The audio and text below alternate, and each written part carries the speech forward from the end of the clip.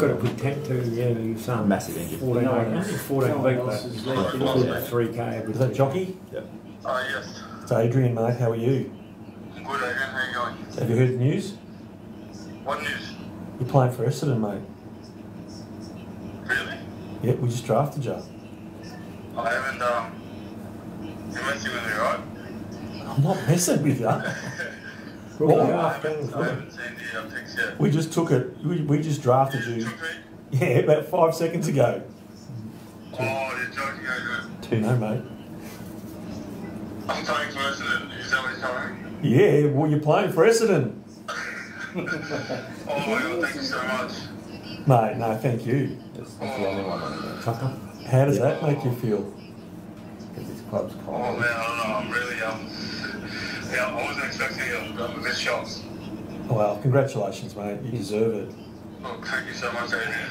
No, we're excited. Adrian's, well, the boys here have been telling me about you all day, and um, yeah, we're wrapped. Yeah, you'll, you'll fit in great, mate, and uh, we'll give you every opportunity to play some brilliant footy, eh? Just come along and um, be yourself and have a go. Oh, mate, that's all I can ask for. Thank you so much. Yeah, Thank mate. Nah, no worries at all. You, you've done all the hard work. We just uh, we, we get the benefit now. So yeah, can't wait to uh, meet you, mate, in the in the next short period of time, and um, we'll get you up and going. Thank you so much. No worries at all, mate. Come on. You, you just uh, yeah yeah you just give your family a hug now, mate. I will. Good work. Okay, Thank you so much. see you, mate.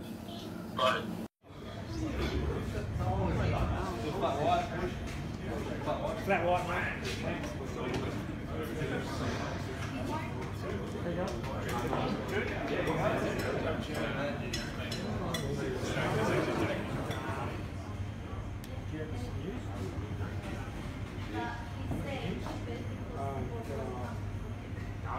Wow, it's hard to make all the orders oh,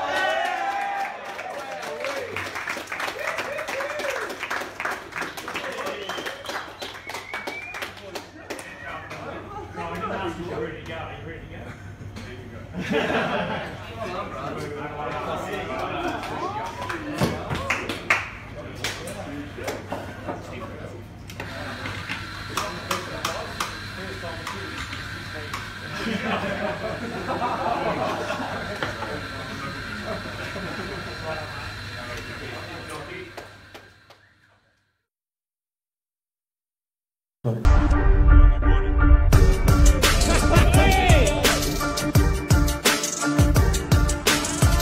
Jockey, you got to take part in some match simulation today. How did you find it out there?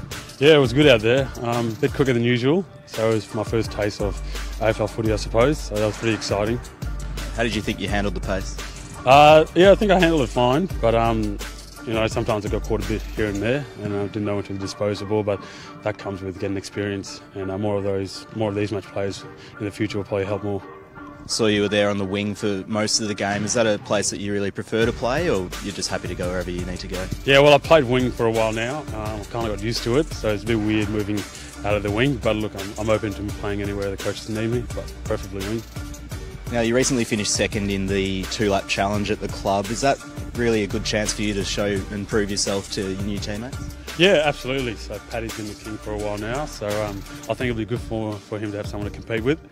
And no wonder he uh, got a PB as soon as he had someone to compete with. So hopefully I can get him once I get a bit stronger.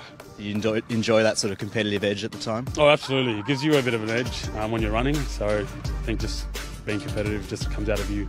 And it certainly did for Paddy and it did for me. So I'll be breaking the PB soon. And most fans certainly know about your athleticism. What do you think are some of the other strengths to your game that they might not know yet? Yeah, so athleticism is probably one of them. Um, just my versatility is probably one. And um, yeah, no, I don't mind flying up for getting the mark there, here and there. So it's always good fun.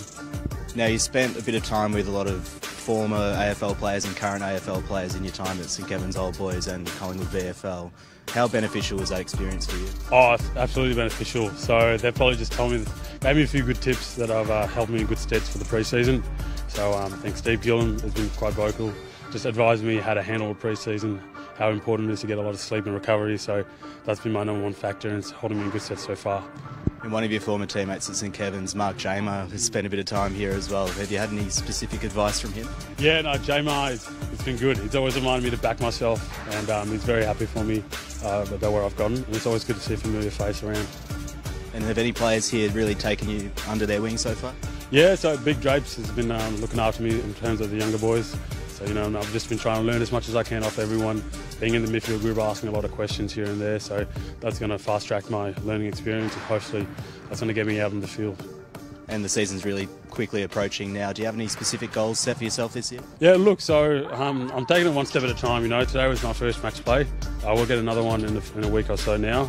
Um, build towards that and hopefully put my hand up for a JLT and hopefully for a round one after that. But look, JLT is the first step, so I'll have my eyes on that right now. Great, well, good luck with it and thanks very much for your time. No, thank you.